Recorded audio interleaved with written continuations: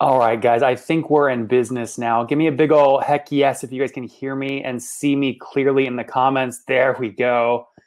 You know, I wanted to like make you guys freak out for about six, just make you wonder what is going on. Is it going to work? I see you guys. Gabriel, good to see you. Look, the whole the whole SaaStock crew is live. We've got obviously local here in Slovenia, but we got the whole SaaStock crew here. Matic and team, thank you so much for putting this on. And guys, listen, I uh, stalked you guys. I went in here into this live session, went to attendees and started clicking down your names to try and get a sense of what you guys are building, but it was a little bit difficult uh, because not everyone has updated their profile. So this is the only time I think you'll have permission to spam like you've never spammed before. Put your website link in the chat real quick and just let me know if you're bootstrapped or if you've raised capital. If you've raised, type how much. Go ahead and do that right now in the chat. Again, you'll never, never again will you be able to spam the chat like this, but go ahead and put it in the chat with Kinga Edwards joining. Guys, let me know what you're building. Okay, Liam is building 360 Learning, uh, Series B, 50 million raised. Very good. Who else? Who else? Don't be shy. Andres Solinik, I see you. Darko Domen Kanda, I see you. Igor Kuna, Yaka Smid, Yost Mandik, I see all of you guys. Go ahead and let me know what are you guys building. Okay, Martin's building prospectroll.com, bestemailverifier.com, smarttable.com. Martin, you're building every SaaS company. How are you doing this? you must have a thousand person team. We've got Alan again building Pleo.io Series B, $78 million raised. Guys, I'm excited to be with you. What we're going to talk about today are new ways to raise capital, uh, specifically fast. And the reason I feel so excited and, and I feel a little undercover here talking to you guys based there in Slovenia is a lot of you guys might feel that you had to come pre COVID to San Francisco or New York to raise capital because you are getting nasty term sheets from European VCs, term sheets that you know wouldn't give you the valuation you wanted or you know had weird clauses and liquidation preferences that you didn't want. I'm going to show you some new ways to raise capital without having to sell a big chunk of your company.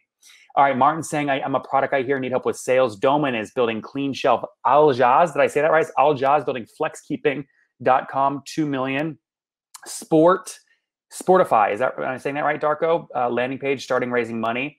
Uh, Rock Git for designers and closed beta. Very cool. Bitpanda, 52 million USD Series A. Great. So some folks raised a lot, some raised none. I wish more people that are bootstrap type bootstrap in the chat because you should be proud of it. Owning 100% of your company as you grow it to 5, 10 million in sales and getting stupid rich off dividends and free cash flow is a beautiful place to be. Okay, it's a beautiful place to be. You should be very proud of that. Let me now share my screen with you guys and see if um, if we can make this work. Give me one second here.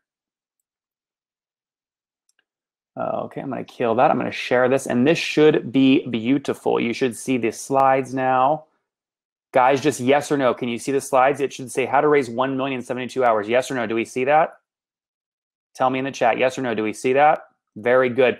All right, guys, let's rock and roll. So this is where my story started. Now, I don't know what the temperature is right now in Slovenia. Obviously, I know it's late. But for me, this is where everything started. A newspaper stand. It was Blacksburg, Virginia. So on the mountains in the East Coast here in the United States, it was wintertime. And no joke, folks, I was sprinting. Ziga, I was sprinting like you've never seen someone sprint before. Okay, Maja, I beat you in a race. I challenge you to race. I beat you in a race. Okay, I was running so fast. And the question you're going and wondering is, Nathan, why were you running? This was why. This was why. I was 21 years old.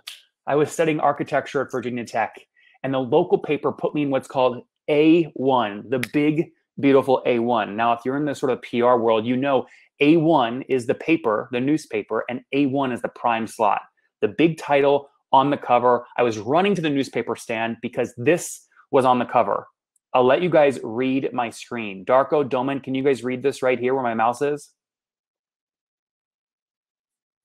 For those of you that can't see it, I'll read it to you. It says, Big deal in Blacksburg. There's a picture of me, my first SaaS company, Heyo. And the text was, Billionaire Randall Kirk has invested some of his venture capital fund on the fast growing startup, specifically $2 million. Can you imagine getting a cover like this? I thought this is what it was all about. I was so naive. I didn't know anything. I was 21. The company was doing about $99,000 a month in revenue, United States dollars. We were great. I was living in the best property on campus. I was still a student. We had 10, 20 people on the team. But this was the start of the end. And I'll show you what I mean. Look at our board deck. Does anyone ever anyone ever do this? They show you their board deck. This is literally a screenshot of our board deck from August of 2012.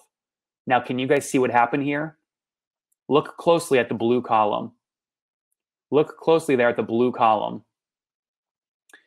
You guys see what happened? So leading up to April of 2012, which is right here, we hit about 99,000 in revenue. We then got the first tranche of the 2 million, so about 400,000, and then we slowly and painfully started to flatline. No growth. No growth. Now, strategically, I'll talk about why that happened in a second, but this was the beginning of the end. Look what it did to my cap table. Now, guys, I just maturity wise, I want to know where you guys are at. Yes or no? Do you guys understand what a cap table is? Just type yes, exclamation point, capital letters in the chat. You guys know what cap table is? Okay, Maddox says yes. Ziga saying yes. So, guys, look again. No one ever does this. No one ever puts their actual cap table up. Okay. Now, remember, we had just raised capital. We were doing about a million dollar run rate. This was our cap table. Okay, this was our cap table. Now, here was the issue with raising that money. Hannah Alvarez, look at what it did. So here's what it looked like. We had an early angel that owned 3%, an early developer owned 0.7%, another angel at a tenth. One of my co-founders owned 5%. Here I am. Guys, just to make sure you can read this clearly, type this number where my mouse is, type the percent of the company that I owned in the chat. Can you type this in the chat, this number? Type that in the chat if you can see it.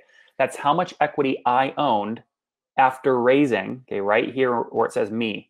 That's how much equity I owned after raising. Yep, you guys got it. Matic, Darko, Doman, 38%. Okay, 38.06% to be exact. Another co-founder, 8%. And then look at as we go down here, the Series A investors, the ones that put in 2 million bucks, they bought about 20% of the company. Okay, about 20% of the company. So we raised at an $8.5 million pre-money valuation plus the 2 million we raised means our post-money valuation was 10.5 million. 8.5 plus 2. They now own 20% of the company, okay? But they also made me hire a COO because they thought I was too young. They thought I was too young, which I hate. How old are you guys? Type your age in the, if you're if you're comfortable doing it, type your age in the chat. How old are you guys? They said, "Nathan, you're 21. You're too young. You're too you're too young to be running a million dollar SaaS company. You need an adult supervision. Eva Oven, maybe you've gotten this comment at 25, right? They said you're too young. So I had to give another 9%. Okay, Yost Mandik, 22. I had to give another 9% to the adult supervision COO. So altogether, 9% plus 20%. That's 30% of the company, basically, that I sold raising that money. And here's where that was the beginning of the end.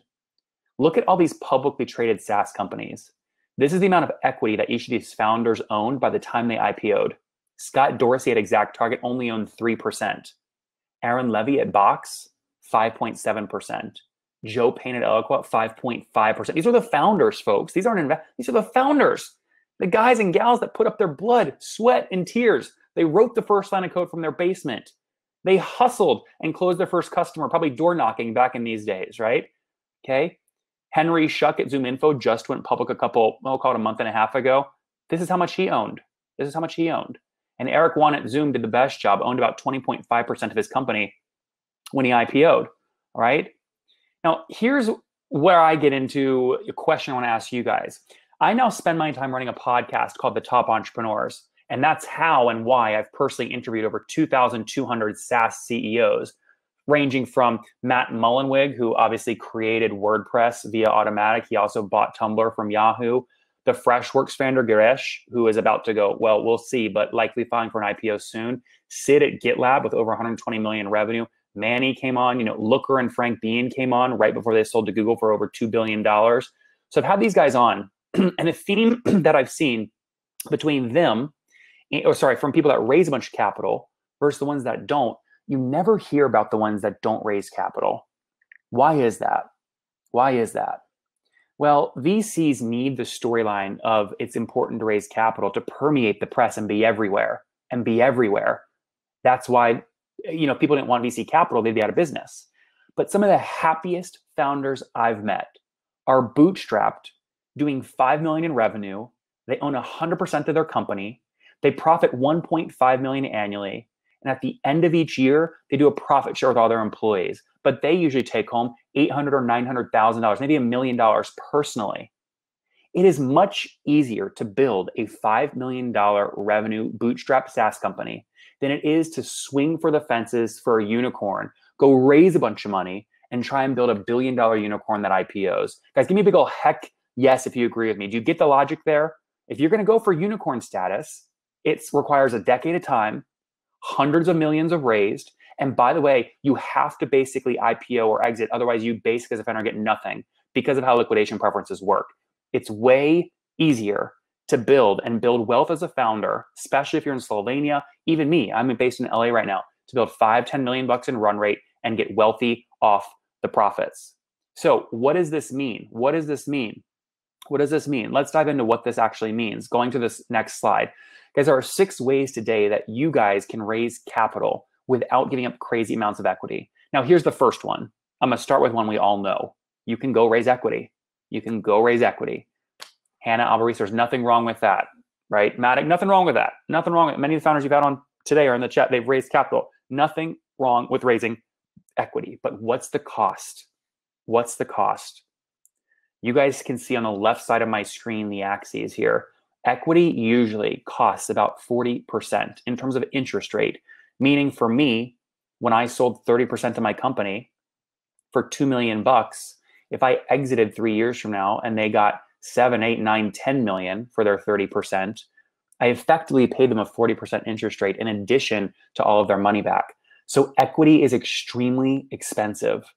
Here's the next version, safes. Now, a safe is usually how Andreessen, NEA, first round, Point Nine, it's usually how they do early seed stage deals. You guys, I think, are familiar with the safe. The next is a seal. Guys, yes or no in the chat. Have you heard of a seal? Yes or no? Have you heard of a seal, Andrej? A seal is a new asset class. Okay. Super. Okay. Hannah said no. Ziga said no. Anyone else? Has anyone heard of it? It's okay if you haven't. Seal is sort of a new asset class. Verdict is out on if this takes off or not. But basically, it's will a VC or an investor saying, "We'll give you money today, and you buy it back over the next whatever three to six years." right? So you pay them back their capital and they still own equity. Now, altogether, Earnest Capital, Tiny Seed, and IndieVC are really experimenting with these kinds of seal approaches. Altogether, they've deployed less than $50 million compared to billions of equity and billions on safe. So it's a very small asset class, and we'll have to see if it takes off. Verdict is sort of still out on this, okay? So Verdict still out, Darko-Matic, Verdict is still out on seals. What's the next option for founders? Well, guys, they're called RBFs. They're called RBFs, okay, revenue based financing. The companies doing this at scale are folks like Lighter Capital, Bigfoot Capital, Flywheel Capital in Southeast Asia. And what they do is they'll lend you a certain amount of money, usually one to two X your monthly recurring revenue, maybe three X. You then, let's say it's a hundred grand. You then pay back 1.5 to 3X that amount over a two to four year period. So it'd be like me giving you guys a hundred thousand bucks today, and then saying, pay me back three hundred thousand over the next two to four years. And the way you're going to pay me back is a percent of your monthly revenue. That's why it's called revenue-based financing. Okay, and that percent of monthly revenue is usually somewhere between call it four and nine percent, four and nine percent. Now, does anyone see what the problem with this is? Anyone see a problem here? think about it. If you're paying back as a percent of your monthly receipts, what happens if you grow really fast? Where all you guys that said you raised, you know, 50 million, 80 million, Series B? What happens if you grow really fast? If you pay back as a percent of your monthly revenue, you end up paying it back way faster than two to four years, which means you, oh, yes, Darko, you nailed it. You end up overpaying you end up paying an effective interest rate of something above 20%, between 20 and sometimes as high as 40%, especially when you add in prepayment penalties, origination fees, and things like that. That being said, it gives you flexibility. and RBF gives you flexibility, and you have to give up no equity, which we like. Okay. Can anyone guess what the next way is? That was four. We have two more left. Six ways to raise capital without getting crazy diluted. Anyone have a guess what the next one is? Darko, you guessed you guessed right on overpaying. You have a guess on the next one? The fifth the fifth way, the fifth way are term loans. And all a term loan is, guys, is it's a fixed interest rate. So instead of paying back 5 to 10% of your monthly receipts, you'll pay back a flat interest rate, usually between 15% and 25%. Okay, 15 to 25%. I put here 10 to 20%, but you get the idea. So this is not tied to your revenue, which is nice because if you get the term loan money today, you use it to grow really fast, you don't have to pay it back faster. It's a fixed rate over time. And then lastly, guys, you have banks, okay, bank debt. This is like SVB, CIBC. These are great options if you've raised a lot of VC. These banks usually will not give you capital unless they've see they saw a VC invest in you recently because those banks are essentially giving you cash and the collateral the reason they're comfortable doing it is because they see all the money in your bank from the VC. Who's with me so far? I know that was a lot of complex terms. Just to me, go heck yes in the comments. Ziga, are you with me? Hannah, are you with me?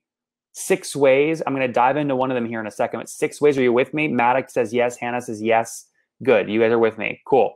Otto saying this is so good. Keep it coming. Very good. I love this.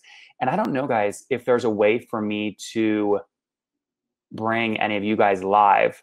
But if you guys see a button, if you see a button on your screen that says join Nathan live, click it and I will figure out a way to bring you on. If not, no worries, we'll keep chatting. And you want to keep watching Eric Siu in the house as well. His content, top, top notch stuff. So what I want to do now is encourage you guys to think about. I'm going to stop sharing for a second. Here's what I want you guys to think about. How many of you guys um, are actually in control of your company? I know a lot of you are sort of project managers. Maybe you're not C suite, maybe you are. But just type founder in the comments if you are the founder, meaning you are the one in charge of making capital decisions for your business. Who's a founder? Okay, so Hannah's a founder. Who else? Blendor, I hope I'm saying that right, is a founder. Who else? Darko's a co-founder, okay? So guys, Hannah, Blendor, Darko, Kinga, co-founder, Aljaz, co-founder. I want to I want to run, run an experiment with you guys. If you guys have identified a way to spend money to make money, a user acquisition channel. Okay. Here's my question to you. How much capital, Rock as a co-founder, guys, how much capital would you love to have today to run your next experiment? Think about it, type it in the chat. How much capital would you love to have today to run your next experiment? Because based off the thousands of CEOs I've interviewed, especially the bootstrapped ones, they're always one experiment away from the big break that adds a million in revenue or something like that. So how much would you want to? Okay, Rock just said 1.5 million would be great. Kinga, Darko, Blendor, don't be shy. Hannah, don't be shy. How much would you guys want today? If if you could have whatever you wanted. Okay, Martin, that's great. Martin said twenty thousand dollars. Great. Who else? Darko saying seventy-five thousand. Good. Blendor says three hundred grand. Now here's the exercise I want to do with you guys. Here's the exercise I want to do with you guys. I run Founderpath, right? So I've helped founders raise a bunch of debt capital. And one of the things that's important to me is even if no one works with us and takes money from us, we want to build a we wanted to build a calculator so that anyone could see how much it would cost them. So Martin, for your 20K, for example, watch what I'm going to do here. I'm going to go ahead and open up my browser window. And I'm going to run this analysis. Blendor, I'll do it for you. Kinga, I'll do it for you as well. Okay. And you guys are, are welcome to follow along. I'm going to share my screen here so you can see it. And uh, Martin, let's do you first, okay? Let's do Martin first. So when you go to Founderpath, ignore signing up. Don't sign up. But go down here. Use this thing for free, okay? So again, let's do, you just said you wanted $20,000. By typing in the amount you want, we will auto update this left side so you can get a sense of what it would cost you, okay? Martin, you with me, man? You with me? So take a look at this, right? So 20,000 today, it would the loan would cost you $6,718 and you'd pay it back once per month for 48 months and it will be about $560. You with me? Okay, so $560 for 4 years in exchange for us giving you or you getting $20,000 today. So, Martin, here's my question to you. And this is the question you should all ask. Martin, can you spend 20,000 today and add more than $560 in new monthly recurring revenue? Say that in a different way. Can you spend 20 grand today and add more than the cost of the loan, the debt in new MRR? Do you see how this works, guys? You don't give up any equity. There's no warrants. There's no board seat. There's no prepayment penalty. There's no personal guarantee, which means we can't come after your house in Slovenia, right? If you don't pay, right? It's super straightforward. So, Kinga, let's do this for you. Let's try this for $100,000. We'll type in 100,000. Okay. Here's what it would be for you. For you, you'd get 100,000 today and you'd pay back 48 equal payments of $2,700 per month for four years. So, Kinga, your question would be can you take 100 grand today and add more than three grand in new MRR? Now, three grand in new MRR, Kinga, you can you can do this math, but I'll repeat it. Three grand in new MRR is 36,000 in new annual recurring revenue, 36,000 in new ARR.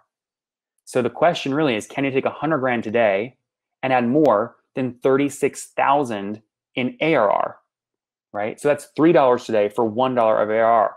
A lot of you guys, Kinga, you're scrappy as heck. Darko, I bet you're super scrappy too. Martin, I bet you're scrappy. I bet you guys know how to spend a dollar and get a dollar of new ARR. So imagine spending $3. I bet you could get $3 of new ARR. But all you need in order to make the loan profitable for you is one new dollar of ARR. So this is why I hope this math, guys, underscores why this new asset class, right, debt, is enabling founders to build their companies without taking a bunch of dilution. Now, I want to make sure I didn't lose you guys in any of the math. So, guys, give me just again, if it makes total sense to you, throw in some exclamation points in the chat, a 10 plus plus plus. If it doesn't make sense, say, Nathan, what's going on? And, and we'll go through it again. Does it make sense? Okay, Otto saying, uh, Otto saying now do rock. Yeah, rock. So if we did 1.5 million, let's do that, right? One, 500, one, two, three. Rock, your question would be, can you take 1.5 million today and add more than $40,000 in MRR or 480,000 in new ARR? That would be your question, right? So if you want to actually see sort of how this works, you would then click apply and actually uh, apply to go through it. But I don't want to get into all that today. I just want to show you guys how this works, right? How this works. And we're not the only ones doing this, guys. So I want to give you this resource. It's a big Excel file. I'm going to show it to you real quick. It's a big Excel file I've put together with all of the SaaS lenders that I have personally worked with. Because the only reason I built Founderpath is from my podcast, right? So we put all the podcast episodes up at getlatka.com. We have over, how many do we have now? We have over 4,512 SaaS founders that I've interviewed that we've put them all up with their revenue, their cash flow, their annual contract values, their churn. And all we've done is so many of these founders have asked me to help them raise capital. So starting in 2016, I started helping and I started building this list of all the capital providers I've helped founders work with. So you guys will now have this list. I'm going to send it to you right now in the calculator area, or sorry, in the chat area. There you go. So you guys can open this doc and check out a bunch of these different lenders. And you want to pay, I see you guys joining, which is great. You want to pay careful attention to this column that I just highlighted, minimum revenue. You want to pay careful attention to the max loan value. So this is a multiple of your MRR and the max debt they can put into any one company, right? Into any one company. And then again, if you want to work with any of these folks, you can see their effective cost of capital. So we charge between 12 and 18%. Okay, and there's a bunch of other providers. We put up all of their sort of interest and things like that as you go down. So on that note, guys, I hope you found that super valuable. I hope it made a lot of sense to you. If you want to type in your own amount and play with the calculator, that's the link. I just put it in the chat. I encourage you to just go there, scroll down, and type in numbers see what it would look like. But the important thing I want you guys to know is founders today, I don't care if you're in, you know, Slovenia or Kentucky or Southeast India or Cape Town, Africa. If you're building a software company today and you're a founder, you have more power than ever. you have more power than ever. The VC path is not the only path. In the last 25 minutes, I showed you six different ways you can raise a million bucks many times very quick. So the debt stuff you can do in under 72 hours. We've done a lot of money in under 72 hours. Okay. VC takes longer. Uh, but I walked you through that over the past 25 minutes. And I just want you to remember you have more power than ever. You don't have to only sell a big chunk of your company to raise capital. And the reason this is important is because you guys know just as well as I do, as a bootstrap founder, especially, you're literally one experiment away from adding millions of dollars of revenue to your business. Don't sell a big chunk of your company to run those experiments. Try debt capital, run the experiment, grow your business. And remember, there's nothing wrong with building a five or $10 million revenue SaaS company and building extreme wealth for you, your team, your family off the profits. That's what true wealth is about. I think that's why we all start companies in the first place anyway, is to be happy and have a lot of freedom.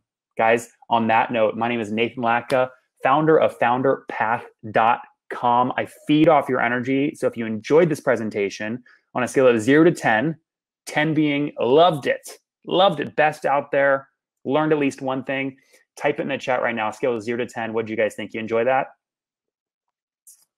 Oh, nice. Gabriel saying hand clap. King is saying 11. Doman says starry eyes. Otto says useful. Martin said 10. Guys, you guys make this fun for me. I appreciate you guys not being shy in the comments. Blendor saying 10. Rock saying 10. Matic saying 13. Matic and the entire team putting on the SaaS logo. I want to thank you. And I also want to thank uh, Gabriel and Alex and the entire SaaStock parent company for being so smart about launching all these locals. Guys, SaaS businesses know no boundaries. They can be built anywhere. It takes a good idea, a lot of hard work, code, sales, a little capital, and you'll be on your way. If I can be helpful, guys, I'll put my email right now in the chat. It's Nathan at founderpath.com. You can feel free to email me if you guys want help